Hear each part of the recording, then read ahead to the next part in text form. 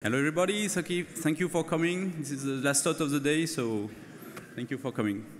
Uh, okay. So I'm Guillaume Maquinay. I'm a software architect working for Thales. And I am Alexis Bonnin. I'm also a software architect at Thales. So we are both working with our buddies here uh, on this kind of product. This is a big picture of the product. So as you can see uh, on the top here, you have this data center that is also on this table that you can also see at the Thales booth at KE34, right? Okay, and okay, so thanks to this uh, data center, onboard data center that we call surprisingly ODC, um, we can run different kind of workloads uh, on board. So depending on the use case, it could be connected to different equipments, notably the, the cabin, could be seat backs, it could be uh, access points serving for uh, personal electric device, devices, electronic devices. It can be uh, connected to the connectivity, um, and that's pretty much it. This data center itself, as an edge part, is connected to the ground platform, through the, to the SATCOM, so either SATCOM or when we're on ground, we have the 4, 5G or 4G connectivity. And this platform uh, provides with a portal uh, for all the stakeholders, so airlines, uh, third parties. Uh, as Thales, we also operate via this, uh, this, this uh, portal. So when we started to work on this project, it was in 2020. so we had the, these top four tasks to tackle. So obviously the hardware, the big part, so um, we, I'm, I'm, glad I don't, I don't do hardware because they had a, a great challenge to, to face. Um, we, they have to comply with the DO 160, which is environment constraints. Um, and just to give you a bit of idea, this whole box only consumes uh, 300 watts, so technically it's uh, not more than a hair dryer.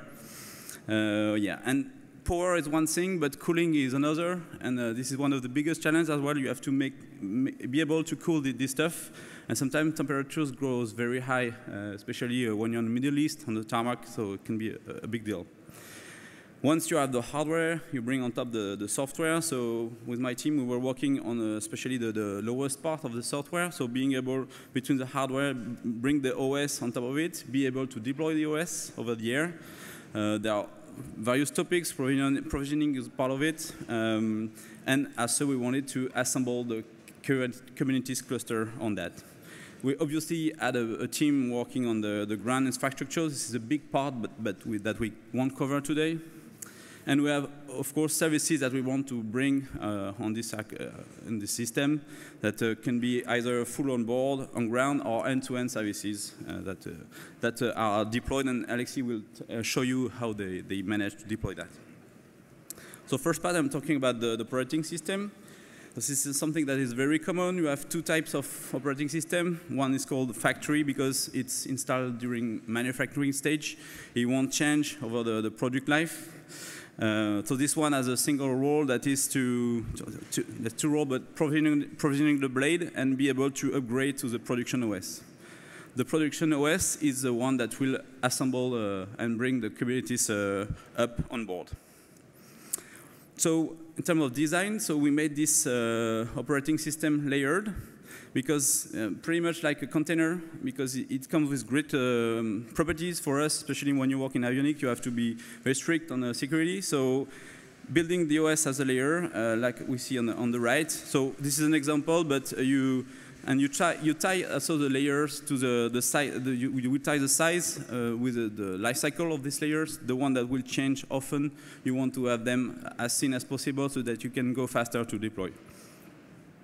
So, um, like I said, in terms of security, uh, this is great because you can easily verify the SHA uh, 256 of each layer each time because each layer is finally, uh, like for Docker, it's just, uh, you, you, can describe it as a, a single file. Um, so, and if in addition we have secure boot, we can also verify authenticity. So we have each time the system boot, we can verify every step of the of the of the OS, of the root file system. Uh, in terms of deployment, of course, it brings uh, good properties because you will download only the layers that really change. And it's really flexible because this layout, you can change it uh, over time. And let's say uh, there is a zero-day uh, issue, uh, zero-day um, vulnerability, sorry. I have to deploy, let's say, a bin bash very, very fast. So I don't have to rebuild my whole system. I will just build a very thin layer that bring the, the fix on, on the bash uh, binary, and I will just be able to put, push it very quickly on every aircraft. So uh, this, this design also implements uh, immutability. Um, it's, so in the case of the factory OS, though this one, you know every OS needs to modify files and you cannot uh, be completely read-only, so there is always a read-write layer on top of the, of the assembly. And uh, in the case of the factory OS, it's a pure RAM memory, so it, will disappear each time you reboot. So, so it, the factory OS is 100% immutable, and for the what we call the pro, sorry the production OS, this one we have to commit files because let's say notably when we we bootstrap Kubernetes, it comes with files that have to persist across reboots. So uh, this file will be committed to the flash memory and will be able to yeah, to persist across reboots. Um, but this being said, it's very easy. It comes with good property as well because when you audit all the files inside this uh, layer, you can really understand the way uh, your uh, op operating system modifies uh, its environment. So it's very, very interesting. And uh, you, yeah, so, and it's also very easy to reset. You just wipe everything in this layer and you start from scratch. And notably, because this is a use case as well, when you, when you work on labs with a lot of colleagues, sometimes it's great to just wipe everything and start from scratch. You don't have to spend that much time to, to wonder if you are the guy who did something bad or, or somebody else so, and finally, if you are able to build this kind of layer, it's very easy to, the same way, of, finally, we, we, we should probably have tried to, to stick to the OCI uh, format, but uh, in this case, this is the way we describe an operating system. So you can see there is a kernel, an initramfs, which is the one that actually does the assembly. And, and then you see the three layers, in this case, uh, base add-ons, and modules. Okay, so then you have your pipelines that uh, will create all the these layers. So like I said, they are one, a single file. So in this case, the, these are uh, squashfs files, so read-only. And uh, you also have your, your CI/CD, the, the, pipelines that will create the manifest that I've just shown you. All of these will be pushed to some Artifactory, in our case. And then how do we deploy? It's pretty easy. You have the operation uh, team that will uh, connect to the portal. They will just have to select the OS version, plus the aircraft they want to deploy to. Oops. Not my finger. okay. Um, and then uh, it's a simplified view, but we have a, um, a service running on ground that will simply uh, take the, this order, it will get the, the manifest, and then push it to GitOps. On, on board, on board the aircraft, we have the uh, way to synchronize. Uh, each time the connectivity is available, we synchronize with, with these GitOps.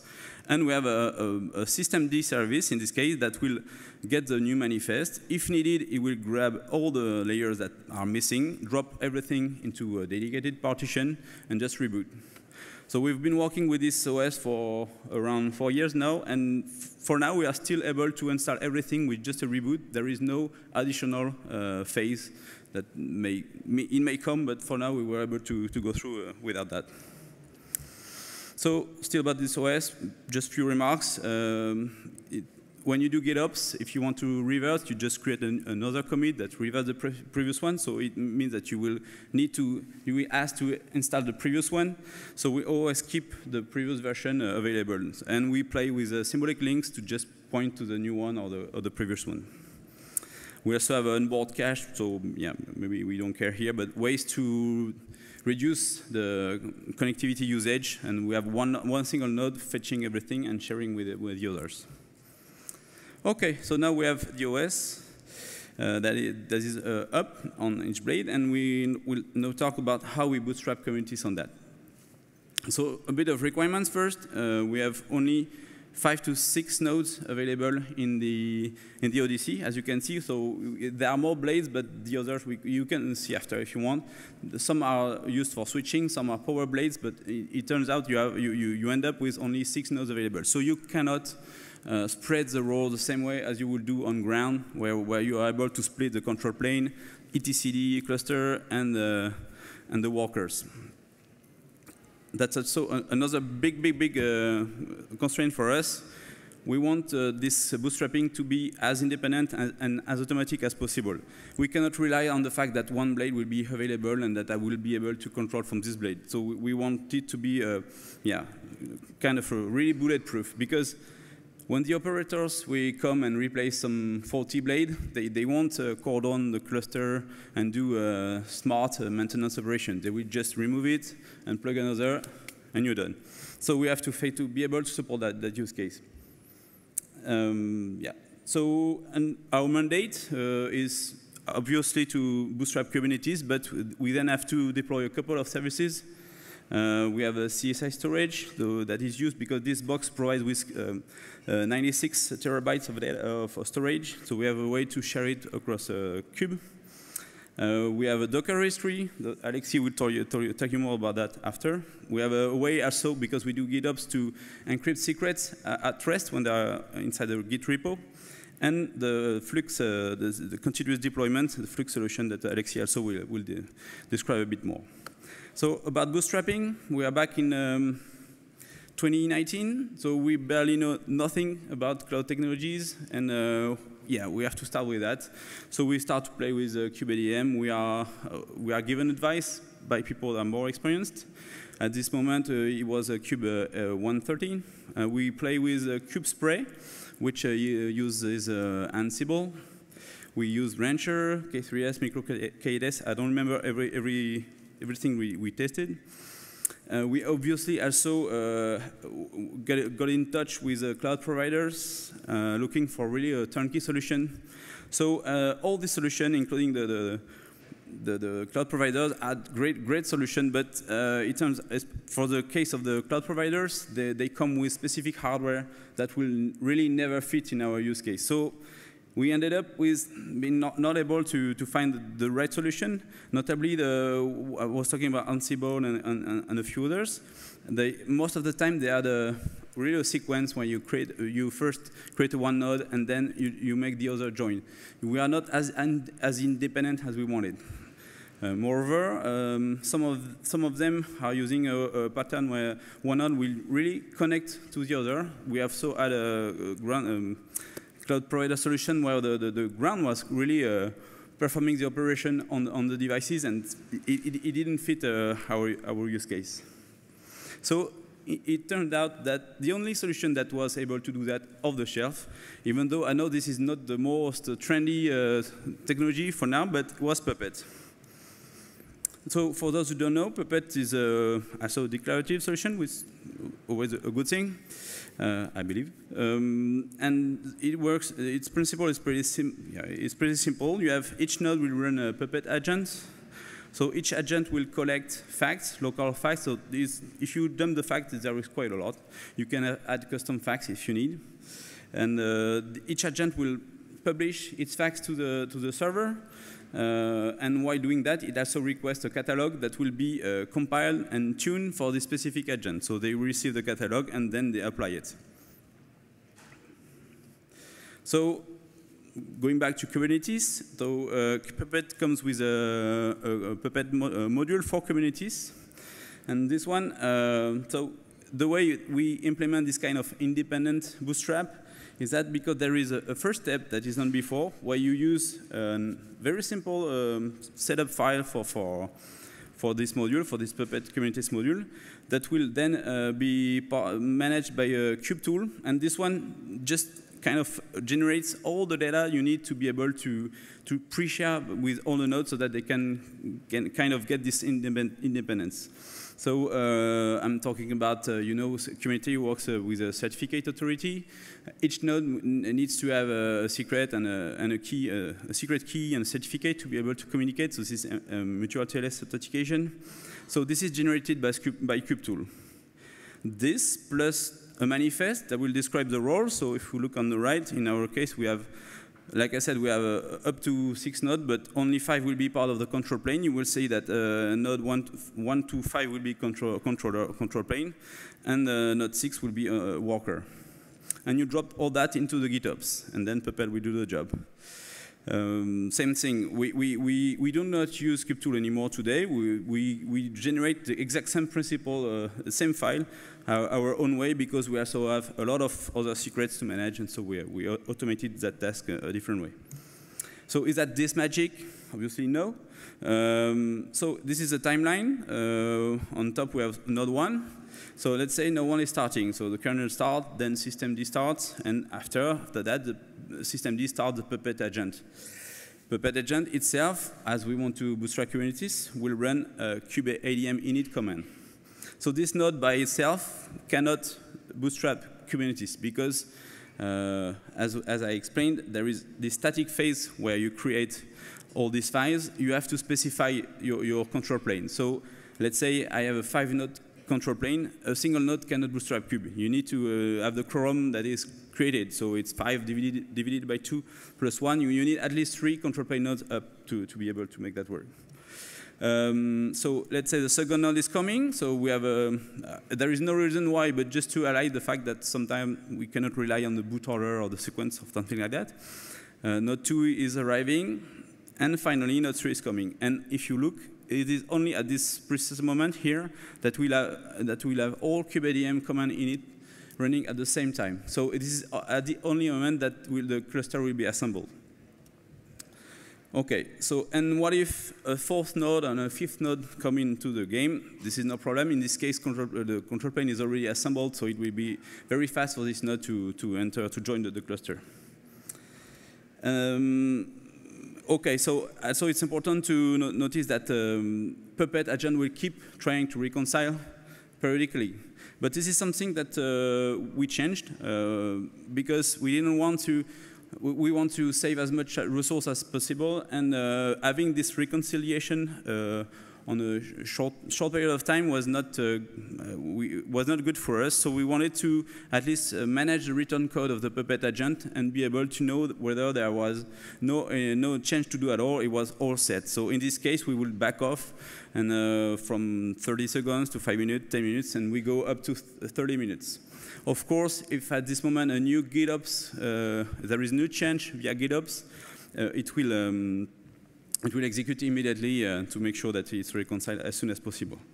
There are a few other stuff that we've deployed that, that we implemented. I, I won't cover because I'm, I'm, a bit late, but um, uh, this, these uh, changes we've done are not yet uh, published, but this is something that uh, we have in mind, so we, we just have to do proceed with that. And now Alexei will explain you how they deploy service. Know that I've done my job. Yeah, so now that we have a Kubernetes cluster that is up and running inside the aircraft, we now need to deploy some workloads. So to understand the challenge that we had to go through, we actually need to understand what is the lifecycle of an aircraft. So this is what an aircraft would do over a day, multiple times a day. It will go to an airport, CDG for example, maybe the airport you came through uh, to the KubeCon. It will go to the gate, and here I'll have access to uh, some connectivity, 4G, 5G. Some, some of the airports are also equipped with Wi-Fi. Um, then we'll leave the gate, go to the tarmac, and take off. Here it'll be too high to have access to cellular connectivity, but it'll be too low to have access to satellite connectivity. Then we'll go to cruise uh, above 30,000 feet. Here we'll have access to satellite connectivity, for example. Um, then it will land to another airport, uh, but unfortunately on this airport there is no internet connection because of um, geofencing of, or roaming costs that are too expensive, for example. So what we can see here is that we cannot predict when the aircraft will have access to internet. Uh, we cannot predict when, and we cannot predict how it will have access to internet. So the aircraft doesn't have a static IP. We cannot just push software to and configuration to the to the aircraft. It's up for the aircraft to re realize pretty soon that it will be up for the aircraft to pull its configuration and pull the software. So we're back in 2020, and what we realized is that what we wanted to implement is the GitOps paradigm, and we decided to install Flux inside the cluster to be able to implement this paradigm. But when you install Flux in, in, in a cluster, Flux will pull the Git repository, create the workloads, um, it will create the deployment and the pods, and the container runtime will then pull the container from their registry. But here, we can see that we don't have access to that registry because the aircraft doesn't always have access to internet. Um, so what we realized pretty soon is that most of our pods go, were going image backoff because the container runtime couldn't have access to the registry. So we need, need to find a solution for that. So this is the step-by-step process we've been through to make sure that um, when we're installing the workloads inside the, the cluster, uh, the image, uh, uh, the pod wouldn't go to image backoff, but we were able to have all the images available. So the first option was pretty simple, just install the workloads, uh, let the container runtime pull the container, uh, but it was no extra implementation, but it was definitely not resilient to connectivity loss or to rescheduling. If one of the image was not available on one, the, one of the node and we're losing this specific node, then uh, the pod will be rescheduled to a node where the image was not available. So it would go image pull backoff.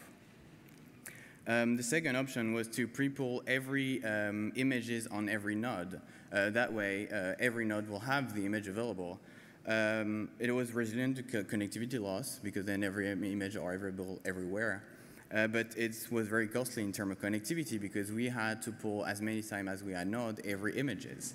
And we're not really able to master the garbage collection. For example, if one of the image were not used for some time, it could be automatically garbage collected.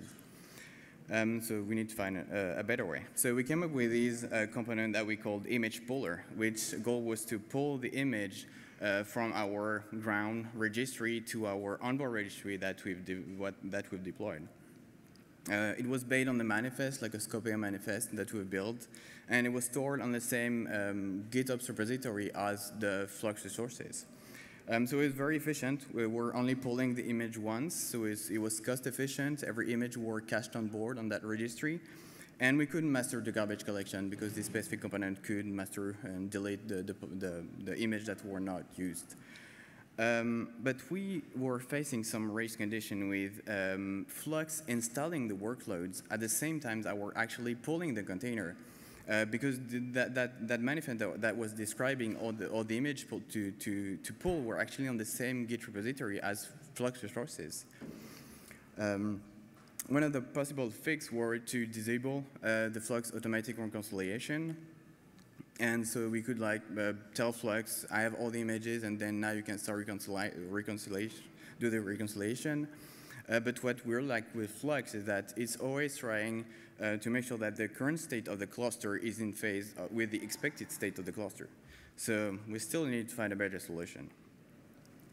But you can ask, why is it that important to, to avoid image pull backoff? Because on the last solution I presented, it was just the image backoff for just for a transitional time. Um, when uh, the image puller were pulling the image, then it would be available. So it, it was just a short period of time. Well, there are three main reasons for that. The first one is that the avionic ARINC 667-2 guidelines actually recommend to segregate the software download phase and the software installation phase, which were not the case here because the, our component was pulling the image at the same time as Flux were installing the workloads. Um, the second one is not to disturb the passenger experience. Uh, even with that transitional state, we could have some uh, disruption on the, on, the, on the passenger experience. The third, um, the third item is the, the most important one. We couldn't afford to install only a portion of the microservice and then lost connectivity for uh, a day or an hour or, or even more. Um, so we, need, we really needed to make sure that all images were cached and available on board before starting to, to, to install the workloads. So we came up with a custom operator called image puller operator. So the image puller operator is a custom Kubernetes operator, operator uh, which goal is to synch synchronize container images from one source registry to a destination registry. And it's based on two custom resources, OCI registry and image. So an OCI registry, as you can see here, describe a registry with some credential to access this registry and the URL. And an image describe um, uh, an image to pull from a registry, from a source registry, to a destination registry. So how, that's, how that works in, in real life. So um, let's say on the, on, on, on the left, we have our platform registry uh, on the ground with our container image to pull. And on the left, we have our uh, onboard Kubernetes cluster. Kubernetes cluster. Um, we have our onboard registry that we've deployed um, using the operating system, and we have our image pull operator. We've defined on the cluster our custom resources, so platform registry uh, uh, with the associated credential, uh, which refers to our ground platform registry, and the onboard registry with the associated credential. And then cre- we've created our um, image object, which is, which is referencing the platform registry as a source and the destination registry, uh, the onboard registry as a destination. Then the image reconciliation loop will start. First, um, the image will start to reconcile the resource. It will get all the information related to this image, so the destination, the source registry and the credential, the destination registry and the credential. And then it will start pulling the container, pushing, pushing it to the onboard registry, and update the status. This last part, updating the status, is the most important one. So if we take a look at the status, we're actually using the kstatus standard, which means that Flux will be able to understand that the, this resource is healthy or not based on the, on the ready um, condition. So now that we have this operator, how do we actually make sure that all the images are pulled on board and before letting Flux installing the workloads? So um, this is the architect, a simple view of our uh, onboard um, GitOps uh, repository. So we have one Kustomization that is describing images and one Kustomization that is describing releases. If we take a look at the Kustomization, for image, it's actually installing all the, the resources that, that are defined here. And as you can imagine, we're defining on this folder image resources. And we can see that we're using the weight condition to make sure that before this Kustomization will be considered as healthy, all resources, all images need to be considered uh, healthy, so which means every images need to be pulled on board. Then we have our uh, release uh, Kustomization, which is uh, a bunch of Helm release. And you can see here that this layer actually depends on the image layer, which means this release layer will not be reconciled unless the image layer is actually healthy. So if we take a look back of our, in our cluster, so uh, still we have our onboard, our platform registry with, with some um, uh, container images. We have our onboard registry, image puller, operator, and Flux, which will, so yeah, Flux will then create, create the Kustomization, our image layer and our release layer. You can see here that the release layer will not start being reconciled because it depends on the image layer. The image layer will then create our image objects, and then our image puller operator will start to work. So we'll reconcile, pull, push, update the status. Nice, nice, it's, it's healthy. We'll do the same for the Redis image. It will uh, reconcile, pull, push the image, and then update the status. Then every um, images are healthy, um, so then the layer will actually be healthy, which means it will, it will unlock the, the release layer, and then Flux will then start actually um, uh, deploying the, the resources that are defined on, the, on, the, on this uh, release layer. The release layer will then create the Helm release, which will create the pods, and then the pods will be able to pull the image from the onboard tree, and then you can see, and then it will be healthy, and then everything is healthy. So thanks to that, we've been able to sequence the installation of the, of the, of the resources, making sure that every container images have been pulled on board before uh, actually letting Flux installing the, the workloads. I didn't dare to do a live demo, so I'm just going to show a recording. So um, on the top left, we have our Kustomization. On the top right, we have our custom resources image. On the bottom left, we have our uh, Helm releases, and on the bottom right, we have our pods. So here we're creating our um, uh, Kustomization. We have our image um, uh, layer and our release layer. You can see here that for some reason the image layer starts first, which will create then our uh, images. Uh, our image puller operator is now reconciling the resources. You can see that it's not ready now, uh, but it starts to reconcile. Uh, it was very fast.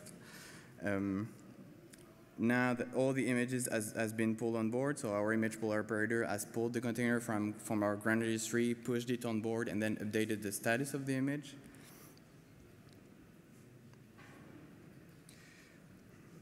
Oh, sorry, I just put it back.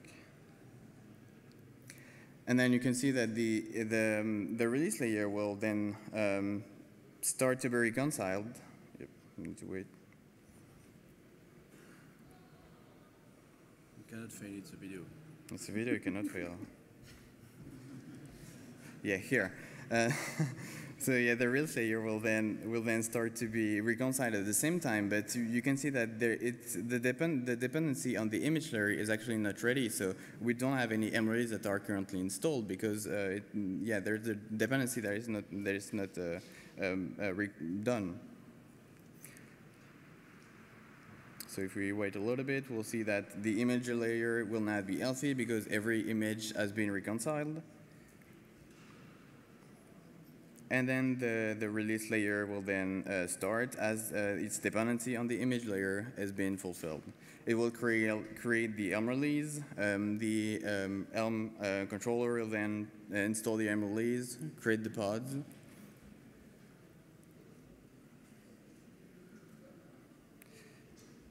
And then, yeah, as you can see over here, uh, the, the images are being reconciled. Um, the pod can start without any image pull backoff because we've been we've made sure that all the um, the image has been uh, cached on the onboard registry. Thank you.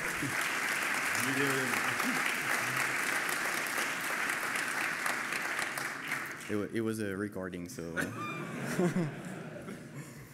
a couple of takeaways from this presentation. Um, what we've realized working on this project is that every off-the-shelf technology that you'll find, the CNCF has a huge landscape of technology you can use. But when it comes to edge computing, it's not always that easy to use those technology, uh, especially when you're uh, working in an environment with, with partial connectivity or no remote or physical access you have to deal with the, those different technology and, and tweak it a little bit sometimes to make it work. Um, the second takeaway is because we don't have remote access or physical access to the cluster, it's flying in, in, inside the aircraft. Every single action that we're doing needs to be automated. We talked about uh, bootstrapping the cluster, installing the software, but, but it goes way beyond than this. Uh, every action like database administration or self-healing, all of that needs to be automated um, somehow to make sure that everything we want on the cluster uh, will be available. Um, uh, the uh, operator that we presented is not open source yet, but we plan on uh, making it open source. Uh, if we do, it will be available on the um, Thales Group uh, um, GitHub account. And if you want to see it closer, uh, it will be available on the Thales booth on K34. Thank you. Thank you.